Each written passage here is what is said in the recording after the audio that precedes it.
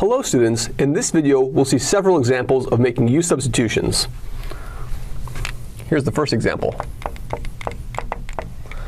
Let's find the integral of sine of x over the square root of cosine cubed of x dx. This looks messy. The key to this problem is to observe the following. We know that the derivative of cosine is sine with a negative sign.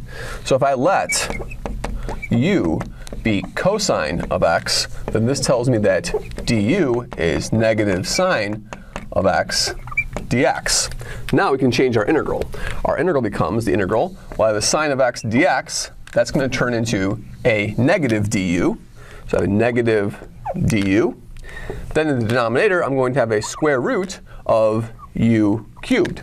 So if we rewrite this, we'll have the integral of negative u, and this is the same thing as negative 3 halves power du. Now this is a power rule, so what we'll do is we'll have a negative u. I'm going to raise the power by 1, so we'll turn it to negative 1 half, and divide by the negative 1 half. And so if we simplify this, what we'll get is we will have a 2u to the negative 1 half plus a constant c of integration. Now, we remember what u was. u was cosine. So this is going to be 2 over the square root of cosine of x plus a constant c. There's our first u substitution. Let's take a look at another example of the same form. Example 2. Let's find the integral of x plus 1 over the square root of x squared plus 2x plus 1,000. Again, this looks pretty messy. That quadratic doesn't look so nice. However, what we can observe is the following. If we let let u be x squared plus 2x plus 1,000.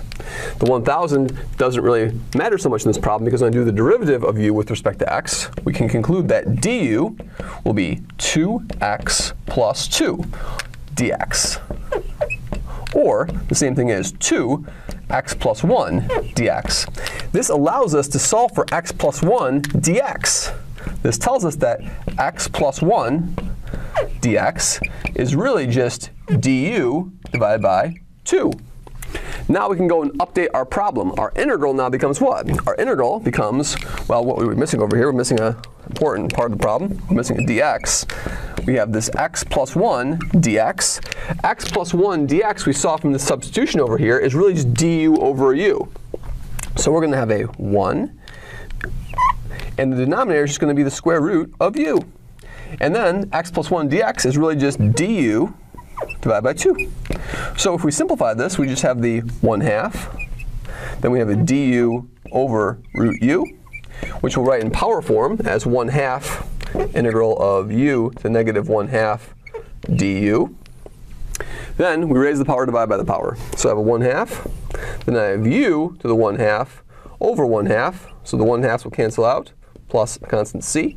And so this is just going to be u to the 1 half plus c. And now remember what u is. u is this x squared plus 2x plus 1,000. So our final answer is x squared plus 2x plus 1,000 square rooted plus a constant c. And that is our solution.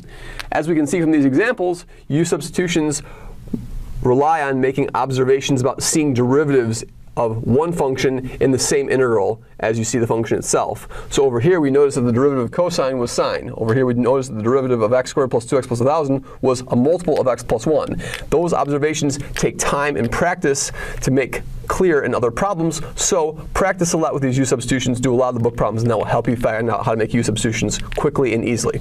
Thank you very much.